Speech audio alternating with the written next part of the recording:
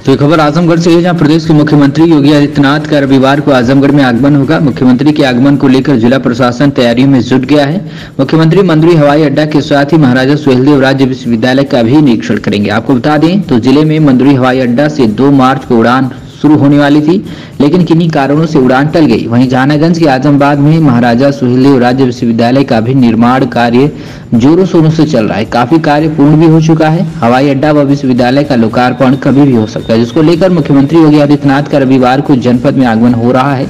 मुख्यमंत्री ज़िले के दौरे के दौरान इन दोनों कार्यों का स्थलीय निरीक्षण करेंगे। संभावना जताई जा रही कि दो चार दिनों में प्रधानमंत्री का भी जनपद में कार्यक्रम लगेगा और उनके द्वारा विश्वविद्यालय व मंदुरी हवाई अड्डे का लोकार्पण किया जाएगा।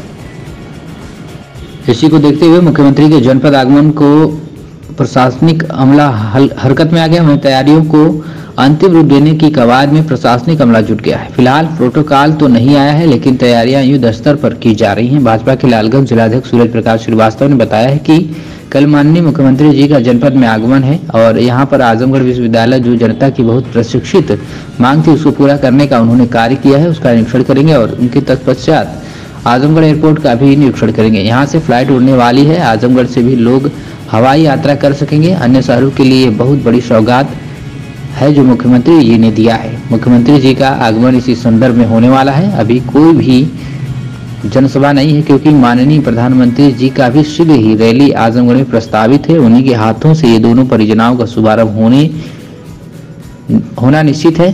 जिसके देखते हुए उसके निरीक्षण के लिए मुख्यमंत्री आजमगढ़ आ रहे हैं।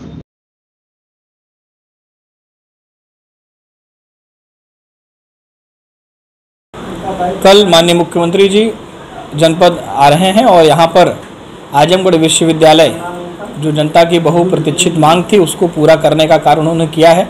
उसका निरीक्षण करेंगे और उसके पश्चात आजमगढ़ एयरपोर्ट का भी निरीक्षण करेंगे, जिस यहाँ से फ्लाइटें उड़ने वाली है। अब आजमगढ़ से भी लोग हवाई यात्रा कर सकेंगे अन्य शहरों के लिए। ये बहुत बड़ी सौगात माननीय मुख्यमंत्री जी ने दिया है और इस माननीय मुख्यमंत्री जी का आगमन इसी संदर्भ में होने वाला है। कोई जनसभा भी होगी? अभी कोई जनसभा नहीं है क्योंकि माननीय प्रधानमंत्री जी का भी शीघ्र ही रैली यहाँ आजमगढ़ में प्रस्तावित है। उन्हीं के हाथों ये दोनों बड़ी परियोजनाओं का शुभारंभ होने जा रहा है। तो निश्चित रूप से उसके निरीक्षण के लिए माननीय मुख्यमंत्री जी यहाँ आ रहे हैं। अगर आपको हमारी चैनल की खबर पसंद आई हो तो चैनल को लाइक सब्सक्राइब और शेयर ज़रूर करें।